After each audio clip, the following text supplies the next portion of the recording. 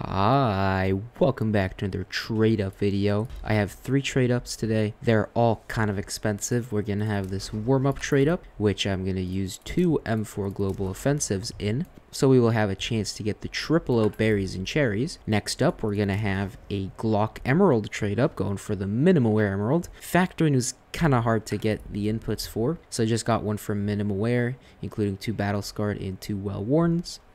And finally, we're going to have a Gods and Monsters low float industrial to mil spec trade up 20%. So these are pretty risky and as always, I am only able to do this because of Skins Monkey so please go and check them out. Are you looking for low float skins for trade ups? Check out today's sponsor, Skins Monkey. It's a very convenient trading bot site that charges no overpay for floats. I found these two 0.01 consumer skins and used code TechSavvy for a 35% deposit bonus when depositing and got the tradable skins instantly. Oh, and did I mention that if you're new to the site, you get a $5 bonus to trade with? You do have to trade to activate it, but it's a little bit of extra. But don't worry if you don't have any skins. The site's always running at least three giveaways, so there's definitely something for you as well. So check out Skins Monkey through my link in the description and the pinned comment.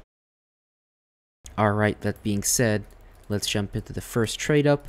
This is our standard 47% chance to hit something good from the collections that we want.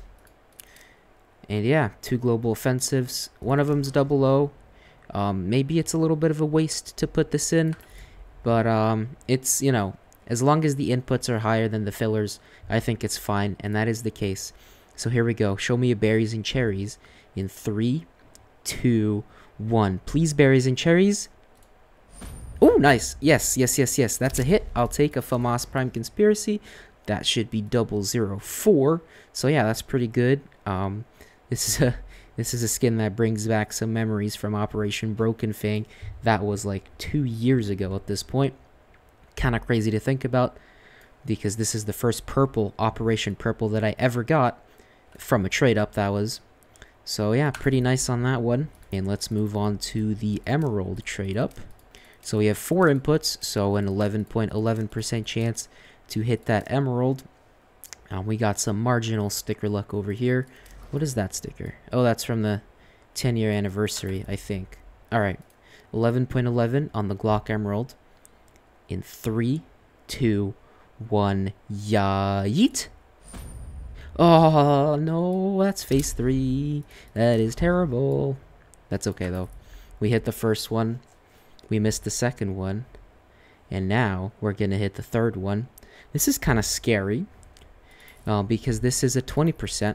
So I'm going to put one in slot 1, 4, 5, and slot 6. So slot 1 and slot 6 are the two Gods and Monsters collection skins. One of these is a 0.02, one of these is a 0.01. So in the Gods and Monsters collection, that's kind of low. These things are pretty rare and then I, I have some 006-ish fillers in here.